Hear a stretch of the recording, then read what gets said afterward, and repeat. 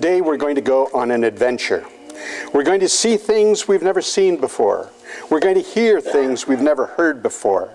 But first, I'd like to talk with you about my son David, our son David, Margie's and my son David. Um, this talk is dedicated to David and to life. Every person that I see here, to me, is a David. And every person that I can help is a David. And when I help you, my David lives. So, this is a little something about how a young man struggled to overcome seemingly insurmountable odds. And he became a living legend to those people who knew him and who knew who, and who, knew who he was.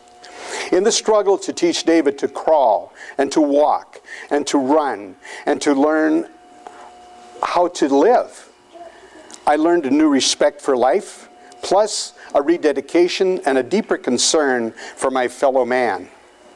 So, whenever I can help my fellow man, my David lives. That's the reason my, why my books are dedicated to enzymes, because enzymes to me means life. Nothing, and I'll be talking with you about this, nothing that goes on in the body, nothing that goes on in a plant, in an animal, can exist without enzymes. So, enzymes mean life. So, this is the true story of David's life and his death. David uh, was born uh, in Minneapolis, Minnesota, when I was getting a uh, degree in rehabilitation. And we moved to Rochester, New York, and I was on the staff at the Eastman Dental Center, the University of Rochester Medical School, and my main area of research and lecture was in cleft palate and maxillofacial deformities. And we lived in a big old house in Pittsford, that's a suburb of uh, Rochester, New York. And um, one Sunday morning, before we were going to church, uh, we heard this thump, thump, thump, thump, thump. And so Margie and I got out of bed and we ran to the top of the stairs, and there we saw David at the bottom of the stairs, vomiting blood. And every time he tried to get up, he'd fall down. Every time he tried to get up, he'd fall down. So we rushed him to the hospital, and they had a brain scan, and he had a spinal tap. Ultimately, he was he was released from the hospital not because he was cured, but because they had nothing for him. And I asked the doctors, I said, is he going to live? He said, we don't know. I said, how long will he live? We don't know. So they just released him to us, to our care, and that was it. And so as a researcher, I searched the country, I searched the world to find various programs on rehabilitation and on working with neuromuscularly handicapped individuals, brain injured neuromuscularly handicapped individuals. And the, the final diagnosis, as far as David was concerned, was acute cerebellar ataxia. He got hit in the back of the head and he walked like a cerebral palsy child. So what I, I developed a, a um, fun palace for him. I got six inch sponge rubber uh, matting, four by eight feet. And I, we had a foyer in our place, in our house. And I made this foyer his magic room. And Margie put sheets over the foyer, and um, that was his magic room. And so every time David would stand up, he'd fall down. Stand up and he'd fall down. So providentially, I, I found this Dr. Temple Fay, who was the director and the head of neurology at the um, medical school in, at Temple University.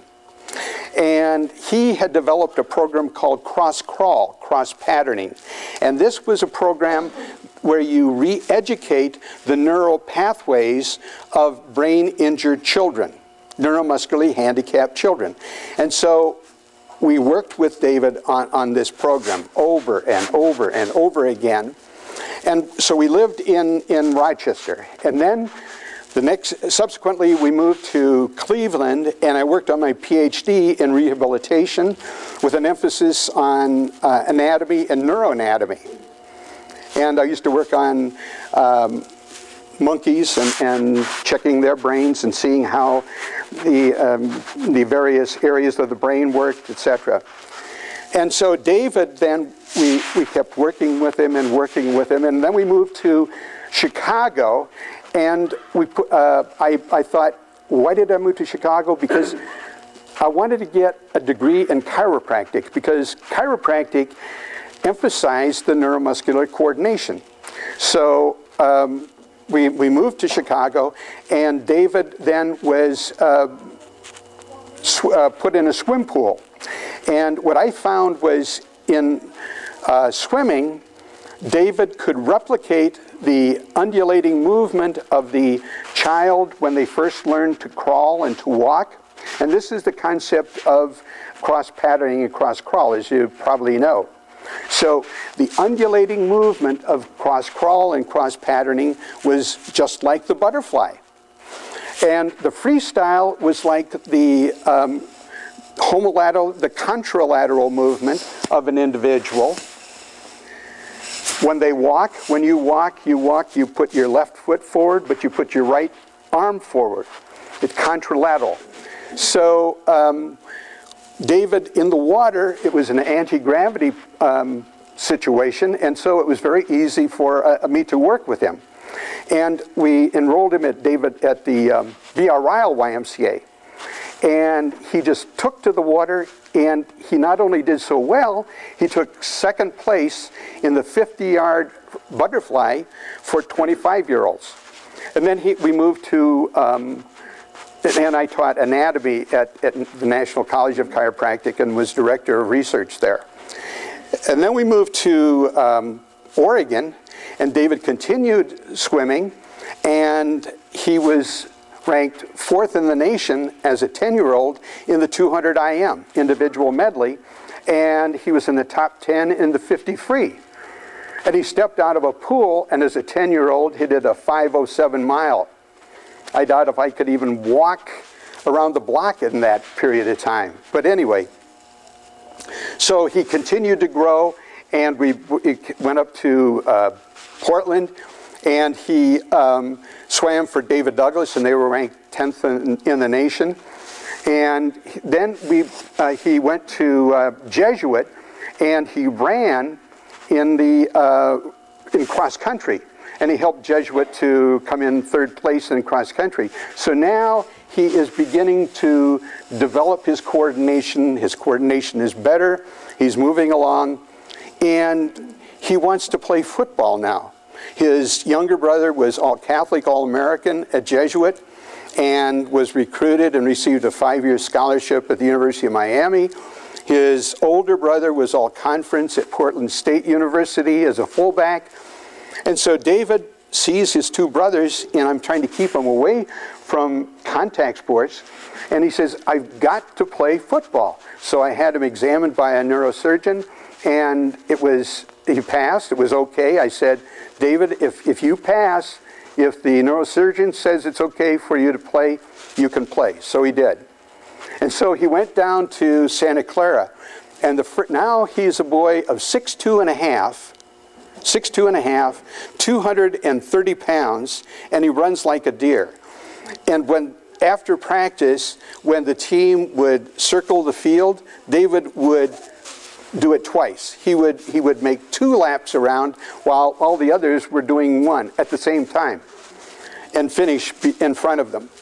So anyway, uh, the football uh, was, he was doing very well in, in uh, football at Santa Clara and they were ranked fourth in the nation, and they were going down to um, Cal State Northridge. And if they won at Cal State Northridge, they would go to the uh, national playoffs.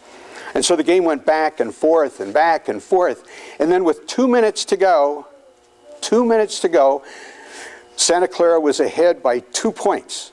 When all of a sudden the scat back for Cal State cut around right in and was gone for an apparent touchdown when out of nowhere comes this flash of lightning from the other side of the field, knocking him out on the two yard line, thus saving the game. And the crowd goes wild, but nobody notices a boy on the ground vomiting blood.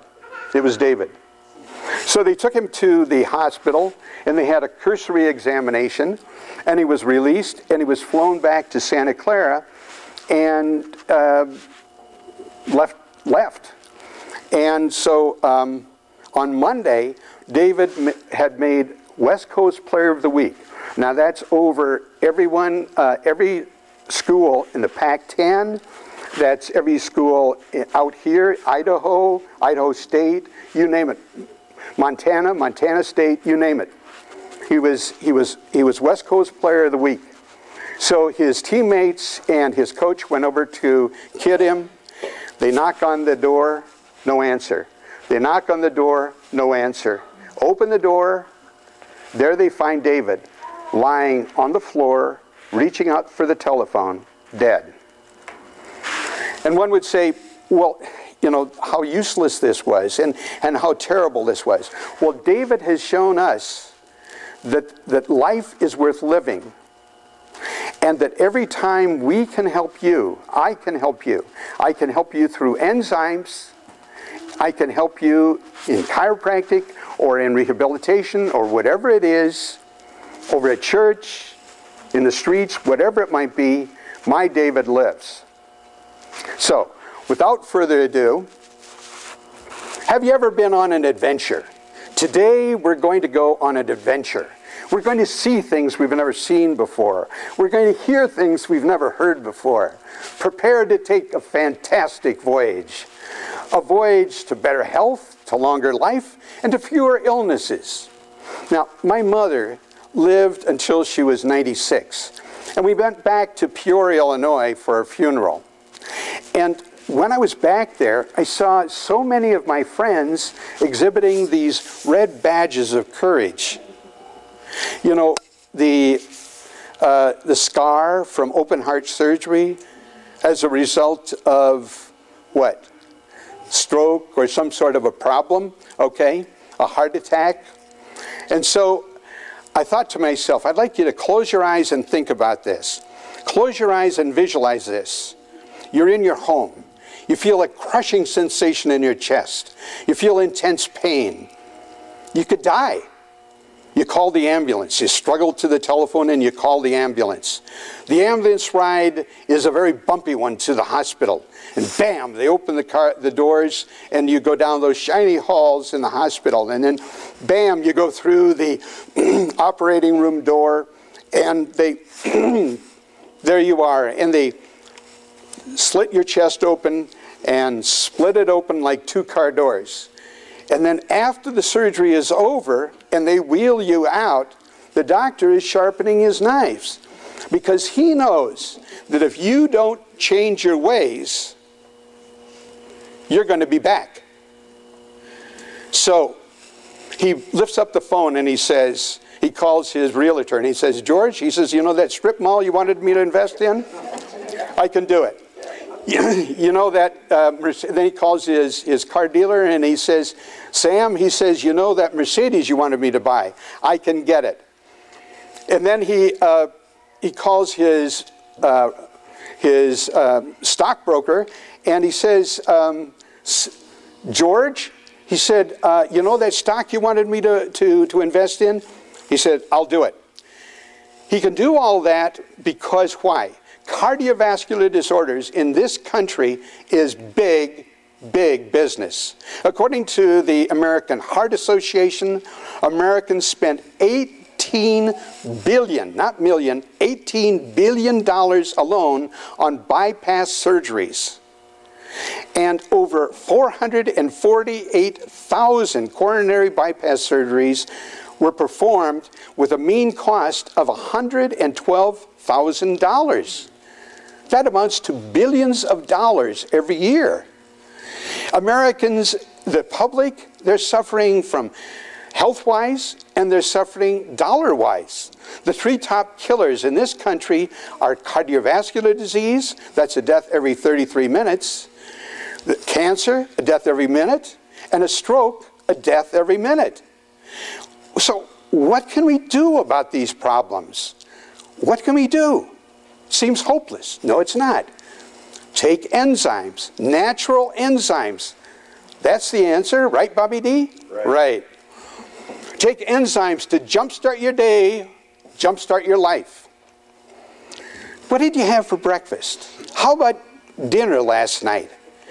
Did you avoid something on your plate because you know you can't eat it? Do certain foods give you stomach upset, indigestion, gas? Does the food you love not love you back? But what causes these problems? What causes gas? Well, gas is caused when we can't digest the food we eat. If the foods don't break down, they reach the intestines in large sizes, where they become a banquet for the bacteria. The, fu- the food begins to putrefy, giving off carbon dioxide and methane and gas. Gas is a symptom of a dis-ease. Think of this, a dis-ease of function. It's your body telling you, hey, you've got a problem. Our bodies aren't functioning properly. In fact, the National Cancer Institute recognizes the relationship between diet and disease and suggests that we eat certain foods to fight disease. Now, but these very foods, the National Cancer Institute recommends to fight cancer and other diseases, are great gas producing products, such as broccoli, Brussels sprouts, cabbage, cauliflower, rutabaga, turnips, high fiber uh, cereals and breads, even pretzels and bagels and pastas, all the foods that you love to eat are cancer, I mean, are gas producers. So some people say gas makes their lives a living smell, and they change their behavior. They avoid places. They won't go out with their friends. They won't go to restaurants. They won't keep dates for fear they will embarrass themselves. Well, what about indigestion? It too occurs when we can't digest what we eat. So, some people say antacids. You take antacids. But over the counter antacids, traditional antacids, don't solve the problem. They only cover it up. And in some cases, antacids may be the worst thing you can do. Why not treat the problem instead of the symptoms? When we avoid certain foods, it's the same thing as saying, I can't produce enough enzymes to break down my foods. So, what can we do? What's the answer? The answer is take enzymes, those genies in the bottle. It's the best kept secret. Did you know that there are probably more research done, scientific and medical research studies done on enzymes and enzyme therapy than any other aspect of human behavior? And yet, enzymes are the least discussed and least utilized phenomenon of medical science. It's the best kept secret. But we're going to change that, aren't we? Now, enzymes are critical for life. You know, there's, there are more than 3,000 different enzymes that have already been identified in the human body. Without them, nothing works. No person, no plant, no animal exists without enzymes. They are the fountains of life.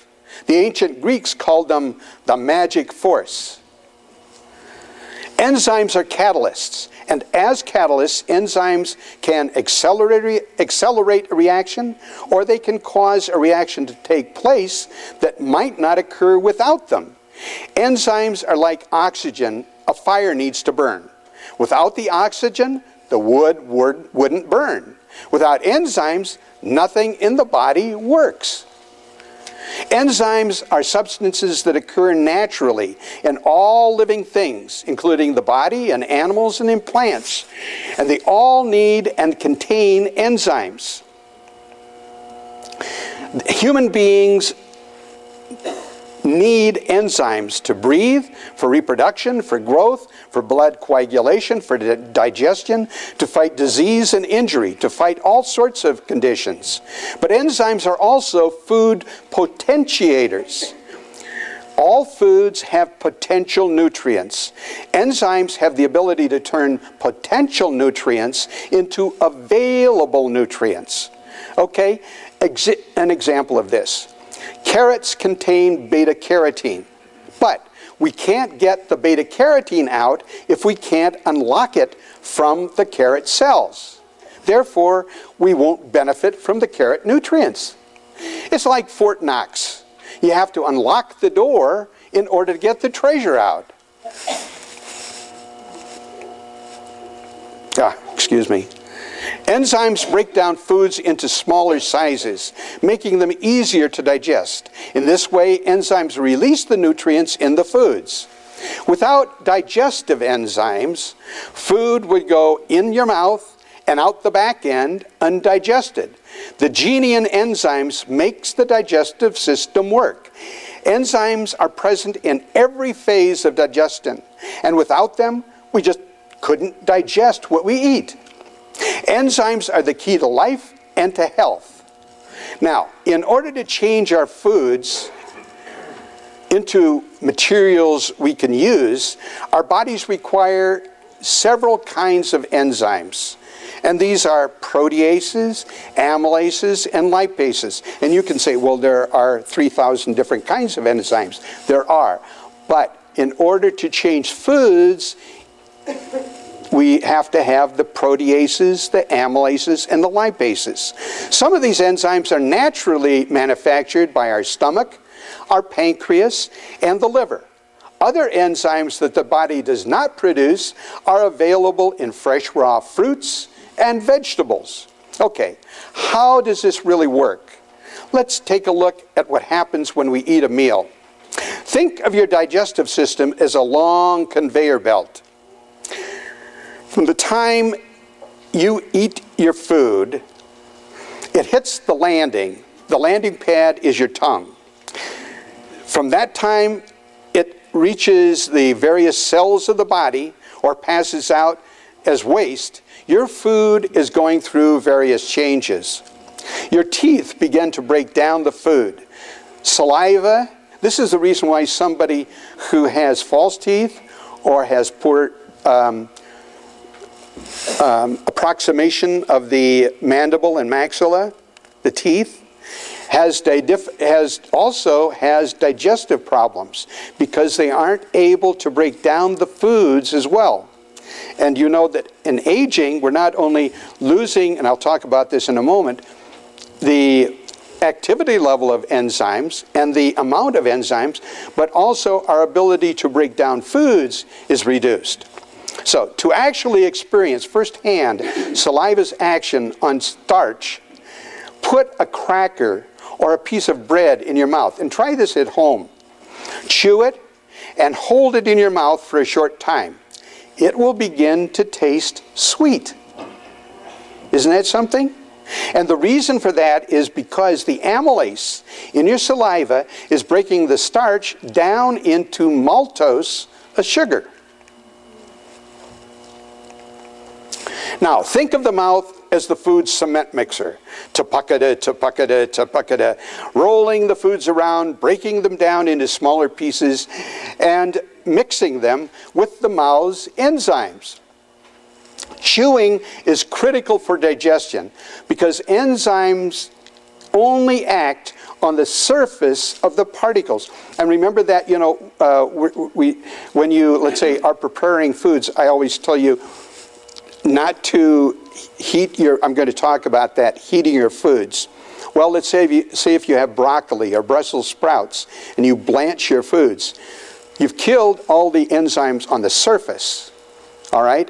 But you haven't killed the enzymes in the specific product.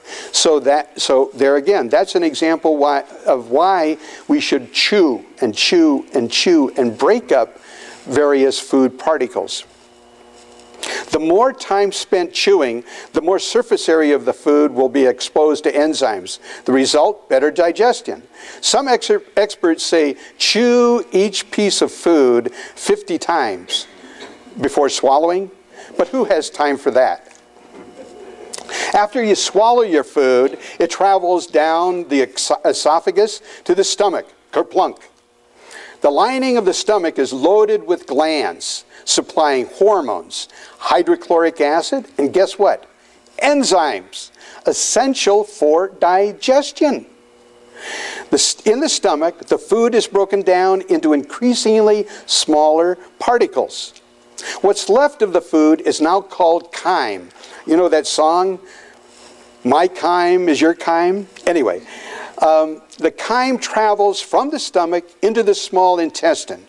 With the help of enzymes, this is where the greatest amount of digestion and absorption take place. From here, nutrients are absorbed into the bloodstream, and the chyme travels to the large intestine where digestion is completed and the waste products are excreted from the body. The purpose, then, again, of the gastrointestinal system is, is very simple. Number one, to extract nutrients from the food. Number two, to digest them into units that are small enough to be absorbed. And number three, to eliminate the waste products. But we're all different, and your health and my health are different. My digestion is different. What happens if Mother Nature has forgotten to give you any or enough enzymes? You'll have poor digestion. And what about lifestyle? Well, if you have poor digestion, it may be because of lifestyle. In this fast paced world, 24 hours each day isn't enough, right, Bobby D? Not enough to get everything done. And because we don't have enough time, we make sacrifices. We make sacrifices in our quality of life, and that means diet. we eat on the run. We eat fast foods. We eat fat we eat uh, a little, a little, little fiber, and we don't exercise, and we're under constant stress. This all has a devastating impact on digestion and therefore on our health. In fact, according to the National Cancer Institute, at least 35% of all cancer is directly related to diet. 35%. Aging is another problem. As we age, our body's enzymes decrease in quality and activity level. The speed of aging is directly influenced by our lifestyle and our diet. An enzyme poor diet can overtax an already deficient system, thus causing us to age faster. Why is it that some people eat nutritious foods and yet are continually tired? Develop chronic diseases, and or age prematurely. Why is that? Why is it that you can eat cauliflower and your cousin Katie can't? Quite possibly it's poor digestion and poor absorption of food. In other words, an individual could be eating a healthy diet, but the nutrients aren't getting to the body. Digestion is faulty. There's a roadblock on the digestive conveyor belt and the nutrients aren't getting through. Remember, you're not what you eat, you're what you absorb.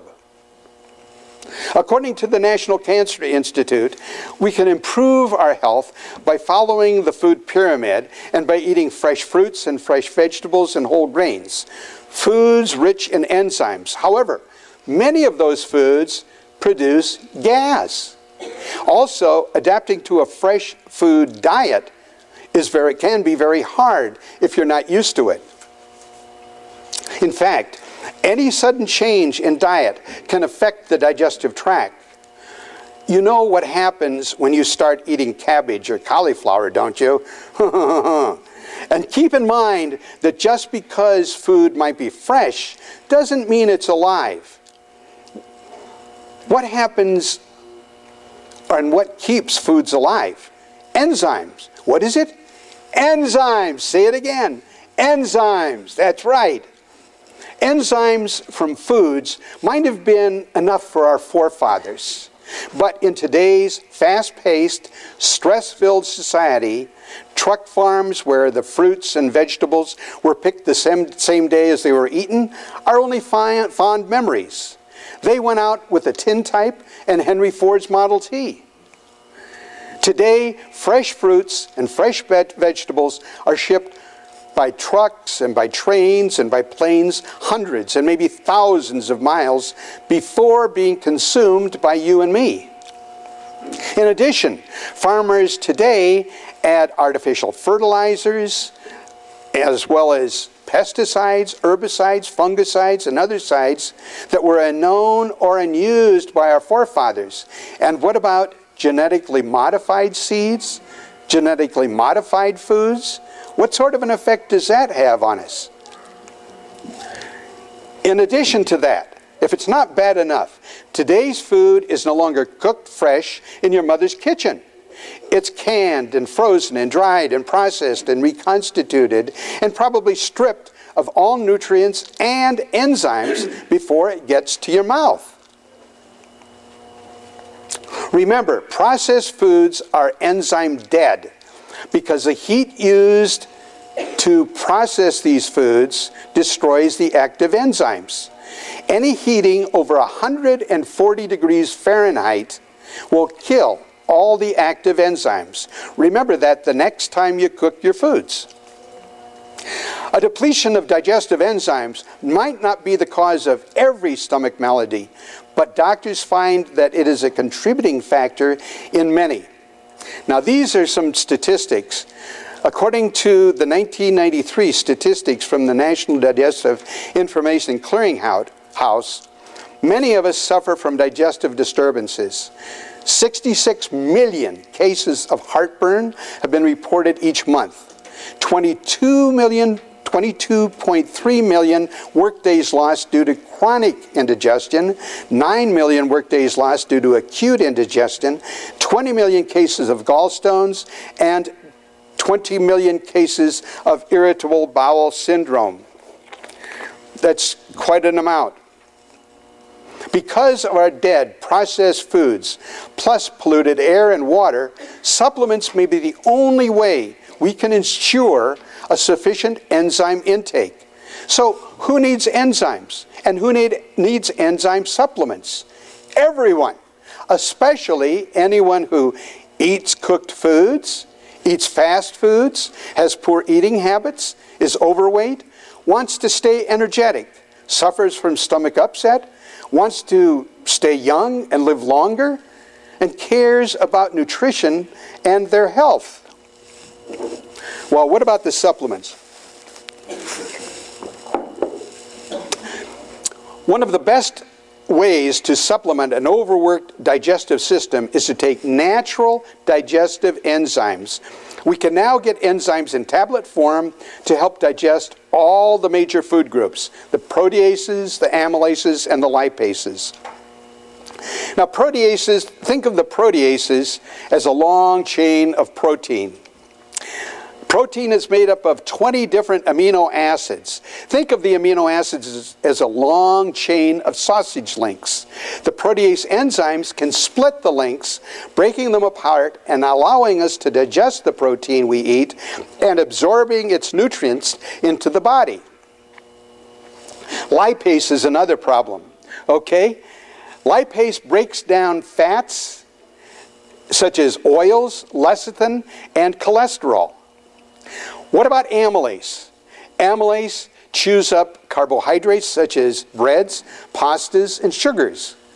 Now, this is a special enz uh, um, amylytic enzyme. Um, uh, lactase is an amylase enzyme that can uh, that people lack. Many people lack this. In lactase in, uh, intolerance or lac in lactose intolerance or lactase insufficiency, the body does not produce enough lactase, the enzyme responsible for breaking down lactose, the milk sugar.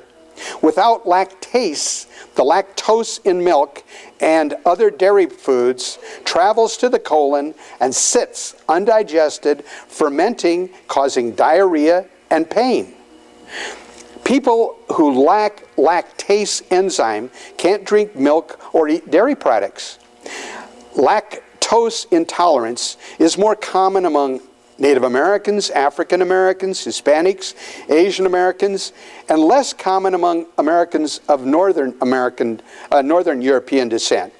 Fortunately, lactase-treated milk is available, and so is lactase. So are lactase supplements which can help to supply the missing enzymes. And I think you have those, don't you? Oh, yeah.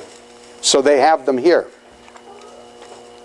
So you can see how important supplements are in today's society. As I said, without digestive enzymes, our, our lives could be a living smell.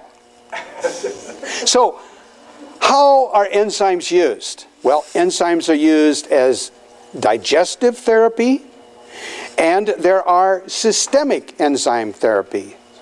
Okay? They're used for two reasons for digestion and for systemic purposes. Now, what is systemic enzyme therapy? Okay, I just a little aside. Um, a Dr. Max Wolf, a German, uh, developed the concept of systemic enzyme therapy. And he found that uh, actually he, um, a, a, man by the name of Dr. Beard used the, he squashed the pancreases of um, pigs and of calves, and he used, he gave that to individuals with, he injected it in individuals who had cancer, and they had very positive results. From that, Dr. Wolf developed his concept of systemic enzyme therapy. But instead of injecting them, and you can inject uh, enzymes, but you can also take the enzymes orally. All right? So, systemic enzyme therapy is the treatment of the body's systems, all the systems of the body with enzymes, particularly proteolytic enzymes circulation, digestion, the immune system, the respiratory system, all these systems. God bless you. Bye bye. The advantages of systemic enzyme therapy are, are these. Now, this is the reason why you say, gee, why am I taking so many different kinds of enzymes? I, I really am quite a proponent of um, systemic enzyme therapy and the use of different enzymes. And the reason for that is because these different enzymes work synergistically. They have different pHs, they have different activity levels, and so they work together. All right? So, this is the rationale for using multiple enzyme combinations. The systemic enzyme therapy improves the health systematically, uh, systemically and it maintains wellness, and it fights diseases and injuries systemically. That means at the cellular level. What about the timing?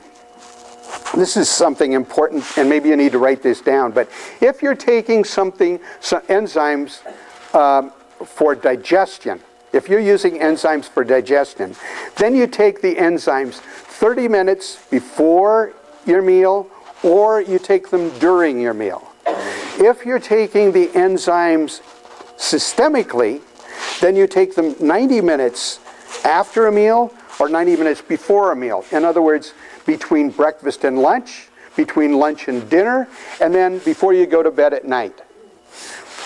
Those, that's the best way as far as timing is concerned. Now, systemic en enzyme therapy, to be used systemically, enzymes must be absorbed into the bloodstream in order to be effective, and they must be coated or they must be formulated to be acid resistance, uh, to be acid resistant. And you can ask the people here about this, okay? They can show you and tell you why this is so. Absorption, but it is, it is critical that they're either enterically coated or they uh, have a, they've been formulated to be acid resistant. Why? Because in going through the stomach, the stomach is very acid, right? And so it would break down the enzymes in the stomach. And so to allow those enzymes to get through the stomach, to pass into the small intestine, through the brush border, and into the circulatory system, where you want them to go systemically, and then they go to various organs of the body, you have to have this enteric coating or they have to be formulated with an acid resistant formula. Now, absorption. Absorption of intact long chain protein molecules was once, once thought impossible. However, research by Stefan, Streichhahn, Kleine, Seifert, and you'll find in my books how I refer to these gentlemen here.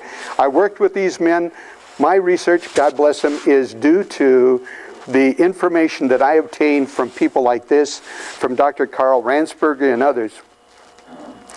And uh, these men were incredibly knowledgeable, incredibly knowledgeable.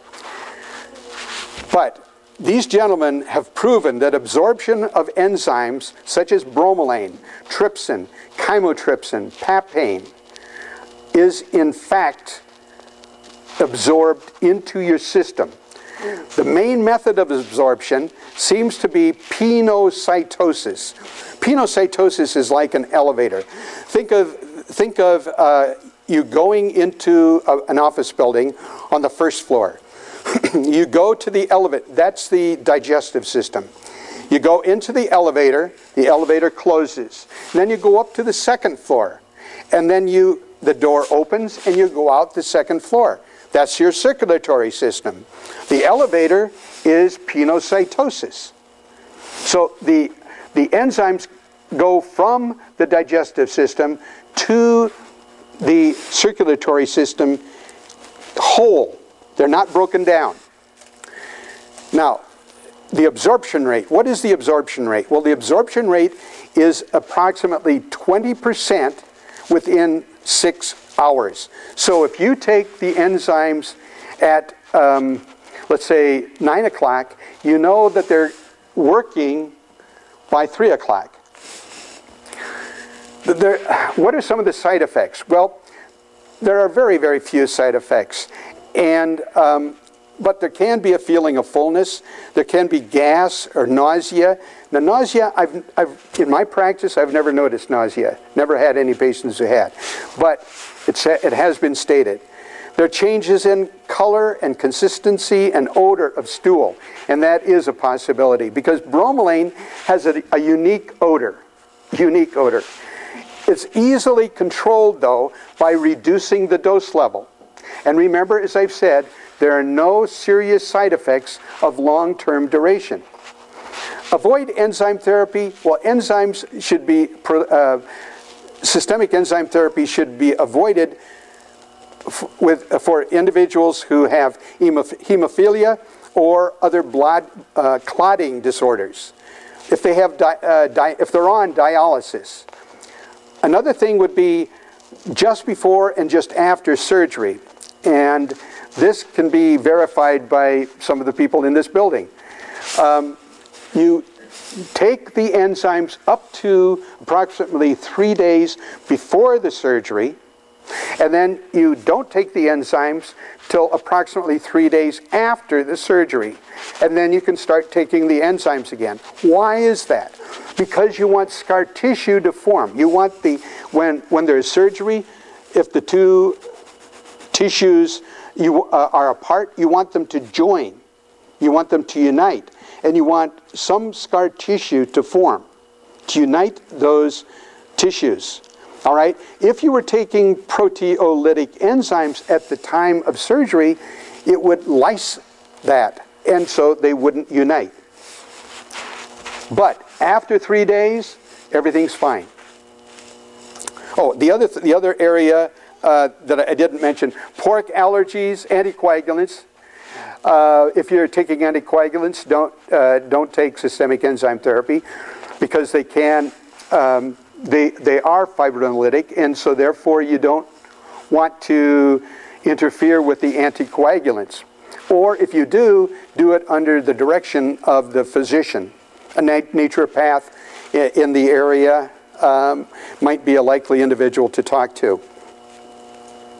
Um, another thing would be uh, pork allergies. Um, some of the systemic enzyme therapy products have uh, been formulated with uh, pork and so the pancreas of a pork. And so therefore, um, if you're allergic to pork, then you shouldn't take it. Uh, pregnant or nursing mothers should not take um, systemic enzyme therapy while they are pregnant or while they are nursing.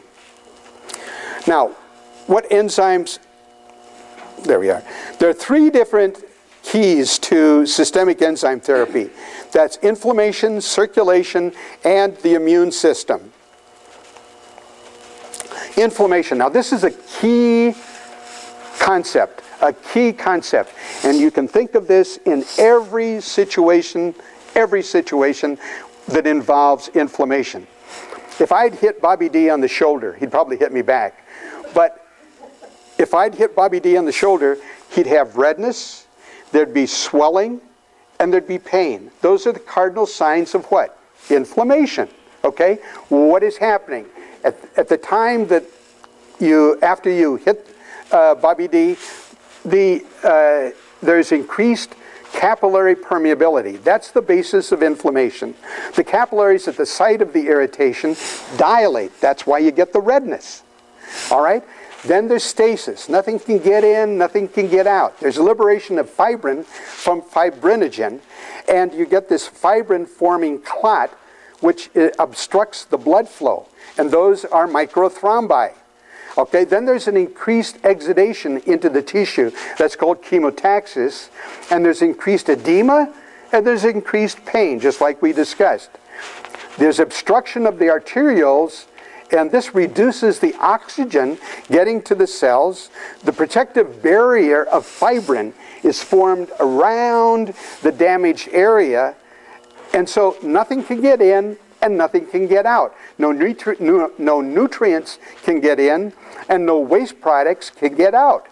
Now, what about the proteolytic enzyme action in this situation? Well, the, the, the proteolytic enzymes liquefy the thrombotic plug, the fibrin plug, through fibrinolytic activity. Okay, it, it, lysing, you know, lysing is breaking up. Okay, so there's an increased capillary permeability. There's improved nutrient delivery to the involved tissue. More nutrients reach the area and revolve the tissue and revive the tissue cells. And then the edematous exudate is reabsorbed. The edema is reabsorbed. And so that the swelling goes down, and the necrotic and other debris is excreted in the lymphatics, and as a result, enzymes reduce the duration of inflammation. I'm going to talk about a study I did at Portland State University in a moment that proves this. The action, and, and it's, it's in the literature, it's in the literature over and over and over again. The action of enzymes on inflammation is why enzymes are so effective in treating sports injuries. But it's not only sports injuries, it's if any one of us was out Bill, if, you, if you're out cutting the grass and you stumble and you bang your, your, your shin or whatever it is, you know, and inflammation uh, ensues, okay? It can be cutting the grass, working out in the yard, working out in the field, milking the cows, whatever it might be. You know, you still can hurt yourself, but the principles um, are the same. Sprains, strains, inflammation, swelling, pain, bursitis, tendonitis, and fractures. Now, I did a study at Portland State University. And I conducted, it was a double blind study at Portland State University in cooperation with Leo Marty, the medical director at Portland State University. Now, we did this on football players and their injuries, and it was in preseason. It was during the spring football, so they can really bang you up.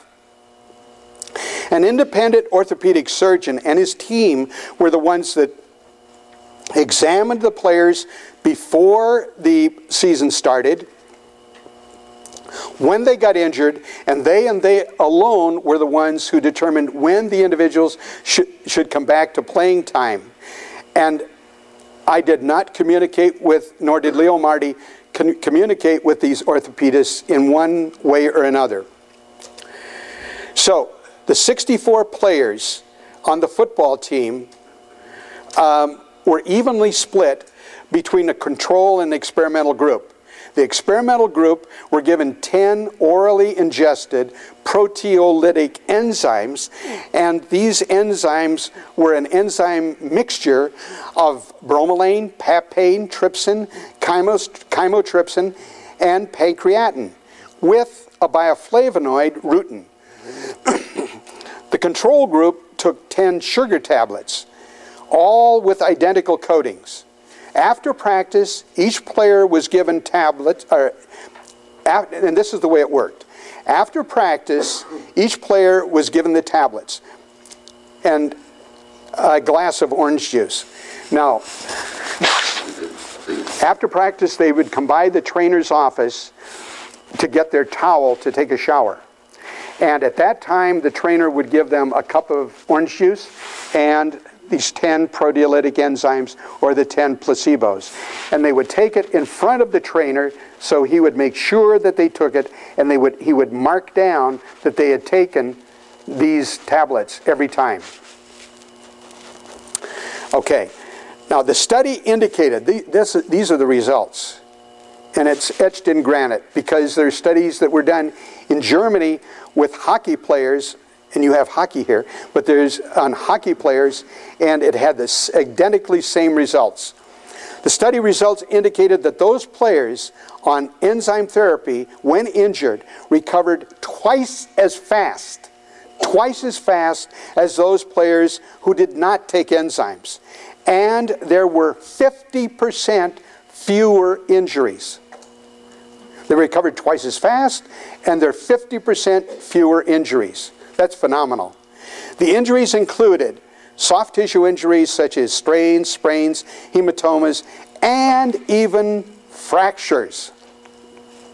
Phenomenal. Circulation. Constant, there's a constant dynamic equilibrium between blood coagulation, that's the formation of the blood clots, and fibrinolysis, that's the dissolution of clot, blood clots. The increased fibrinolysis leads to excessive bleeding, while weakened fibrinolysis leads to clot formation, such as thromboses or emboli. This balance is maintained in the body with the help of enzymes. Proteolytic enzymes can help dissolve the clots through thrombolytic activity. They can improve the blood flow the circulation in the capillary system and thereby facilitate elimination of the inflammation products, the waste products. So proteolytic enzyme action, now again, enzymes help maintain the body's balance. They help dissolve clots. They improve blood flow and circulation and they facilitate elimination of the inflammatory products, the waste products. What about the immune system? The immune system is the principal means of detoxification of the body. Now, it's composed of macrophages, big eaters. You know, they're like Pac-Men. Boom, boom, boom, boom, boom. I always visualize them as Pac-Men going around, jump, jump, jump, jump, chewing them up. Is that good, Bobby D? Good.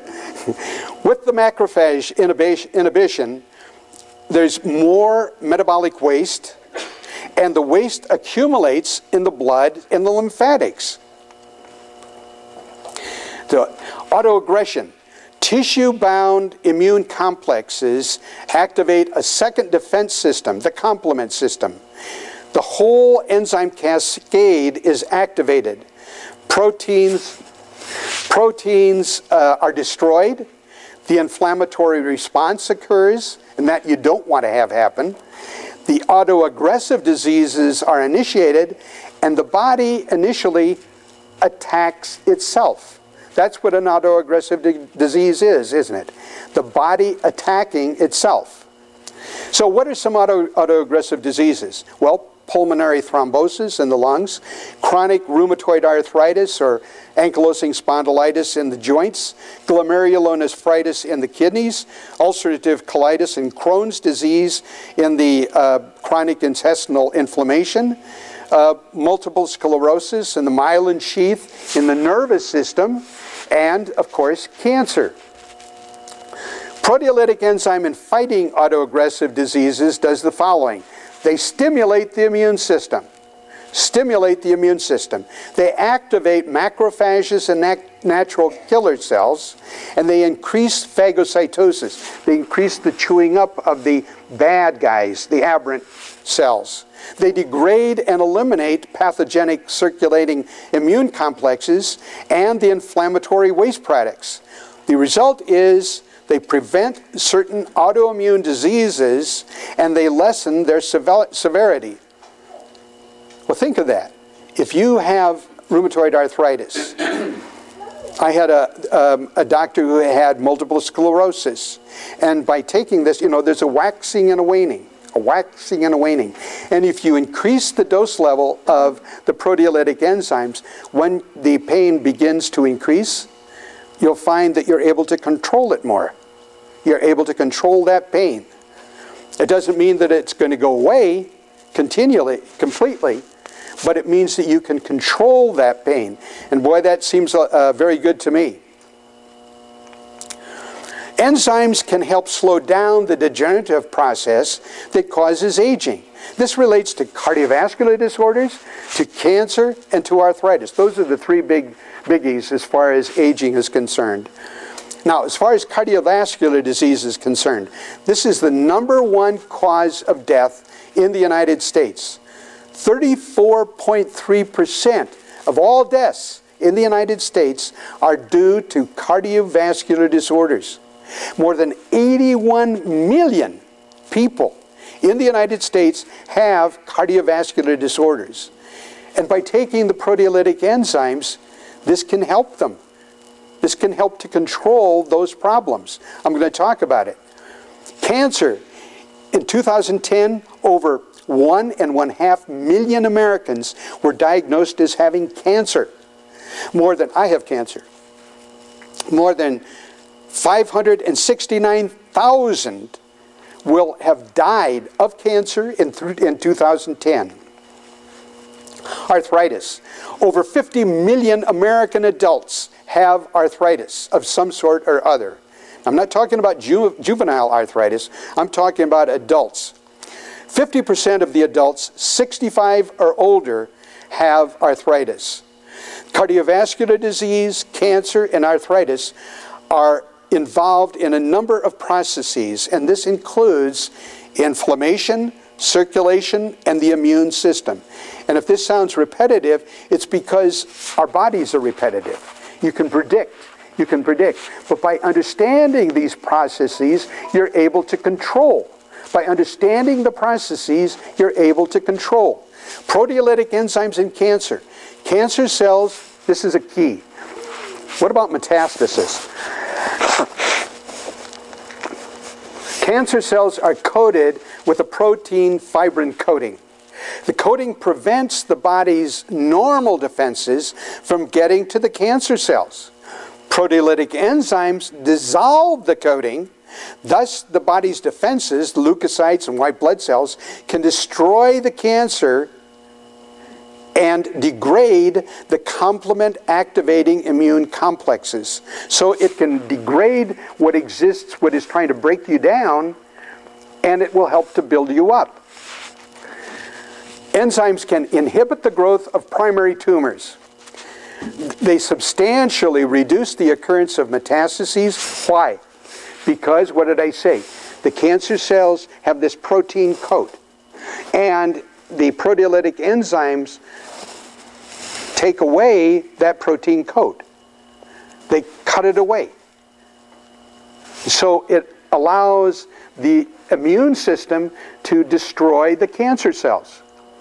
Then they can substantially reduce the recurrence of cancer itself, building up the body.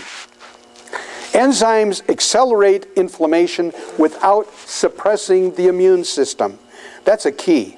If you can do something like many medicines can um, accelerate or can, can, uh, are, are, are used to fight inflammation, but they have an effect on the immune system. The enzymes accelerate inflammation without immunosuppression. That's a key point. They're, they're valuable during radiation since enzymes can reduce the dose necessary and protect the body against the feared radiation hangover. And I'm sure you have friends who have had radiation and you know the hangover that they go through.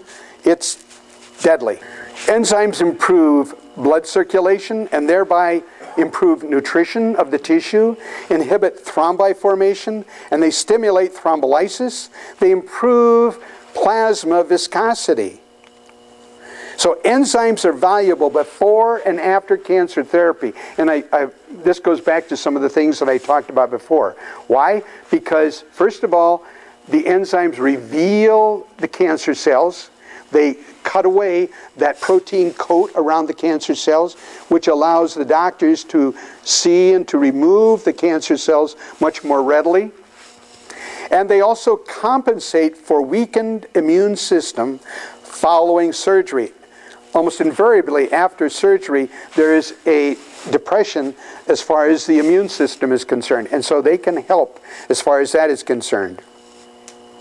So enzymes reduce overall risk of cancer and are effective against breast cancer, lung cancer, cancer of the abdominal cavity, bronchial ca ca uh, cancer, uterine cancer, leukemia, testicular cancer, prostate cancer, uh, urinary bladder cancer, uh, skin cancer, and cancer of connective tissue and di digestive system. Now I have, I have skin cancer, and uh, I was traveling all over the world giving talks in the early 20s, uh, to, uh, the early 2000s, I should say. I'm here. See what you do to me, Bobby? But I was traveling all over the world, all over the country, uh, giving talks in various areas, and, and God was very good to us. But I noticed I had a little bump on my shoulder. And I went to a, uh, Margie and I went to the medical doctor and he referred me to a plastic surgeon. They re removed the, the uh, tumor and it was diagnosed as malignant melanoma. I went to a gentleman who was a specialist uh, and who had been trained through Sloan Kettering Institute and his um, procedure was surgical and he wanted to remove all of the lymphs from under my armpit. Um, I had tumors under my arm. He wanted to remove them and all of my lymph glands, God bless you, all of the lymph glands uh, under my armpit. And he said, now, I want you to understand that when I do this, from the time I do this, you're going to have numbness and tingling in your, down your arm, and that's forever. And also, if you get a cut or a scratch or a bruise or anything like that, you get in to see the doctor immediately because your immune system is shot. And so uh, Margie and I talked and we said, eh, I don't think we'll do that. so uh, providentially, a good friend of mine was uh, Charlotte Gerson, and I had been doing multi-research in, um, on, on German research on cancer and their approaches to the treatment of cancer, and it's much different than it is here. In any case, um, what we did was to go on the Gerson program, and uh, also I, I do not eat any um, red meat. Um, I have um, I, we only eat, or we try to only eat, uh, fish that are uh, deep water fish. Now, occasionally what I'll do now, this was, what, about seven, eight years ago. Occasionally, since we're, we're um, Bobby D is so gracious and he gives us uh, some, a soup with, um, what, buffalo soup was it? Elk soup. okay, elk suit. I, I chewed chomped it very well. But anyway, it was, it was, it was an exception. It was an exceptional time, and it's been, it's been a, a long time, eight, nine years, okay? But what, what I did is when I went home, I, I took a voluminous um, number of proteolytic enzymes and a lot of vitamin A um, to offset that. But the main thing is that uh, I, I uh, am um, on a basically a vegan diet, and um, I occasionally will have um, organic chicken, and we skin off all the um, the um, um, skins. We'll take the uh, the surface of the uh, the chicken off, and uh, then we bo uh, we boil it. Is it, Mom? What is it? Bake or boil? Bake or boil? Boil. Boil. Very, very, very, at a very low level. And so it is not the same as you would find in a restaurant. It is definitely not as cooked as, as, as with as high a degree of temperature, etc. And then the fish, as I say, is from uh, deep ocean fish, none from the Columbia River or any, any place like that. And so, and, and then I'm uh, high, uh, high, doses of enzymes. Uh, I'm on between, I take between um, 20 and 30 proteolytic enzymes a day. Now somebody will say, well, that's too much. Well, I want to live. You know, what cost is life? I would ask you that. So that's, that's the way I look at it. Which enzyme are you using? I use, prote I use Wobenzym and I use um, other enzymes as well. Many enzymes. But I use, oh, Karl Ransberger is the man who, Dr. Karl Ransberger is the man who developed, who continued on the concept of, of, um, uh, of proteolytic enzyme therapy, and he has made that a worldwide concept. You can't go to any country in the world without finding uh, the um, or in learning about somebody, some doctor uh, not treating you with um, enzymes. So anyway, enzymes attack dangerous cancer cells, and I feel great. I feel great. I'm back here, I'm, I'm here, you know, leaning on you guys, right? Enzymes attack dangerous cancer properties. They degrade and they chew up the fibrin, um, unmasking the cell antigens, leaving them open for attack by the immune fighters. They remove the glue cancer cells use to attack, attach themselves to the vessel walls. All right, that's how they metastasize, and that's how they cause the cancer, you know, to metastasize and then stick on another area, right? And then they break up the immune complexes that are floating through the circulatory system. And then they improve the overall health of the patient and they maintain this homeostasis. So, systemic enzyme therapy fights digestive disorders, cardiovascular disorders, inflammatory conditions, immune disorders, cancer, uh, chronic conditions such as herpes, HIV slash AIDS, um, also sports injuries, and aging. And I could actually, if we had time, I could give you studies from each and every one of these. This lecture is sort of an overview, and I've just sort of highlighted different points. Now you want to get my books because in the books, the, uh, the book that, um, they, that they have here at Pilgrims has over a hundred conditions where you can use proteolytic enzymes. Yeah. You've written more than one book. Yes, I've written 15 books. Now, with ballooning healthcare costs, uh, we do know that ballooning healthcare costs must, we must have access to everything that we can to improve health. Enzymes through uncooked foods and through enzyme supplements can help every system in the body. And I hope that I've proved that to you.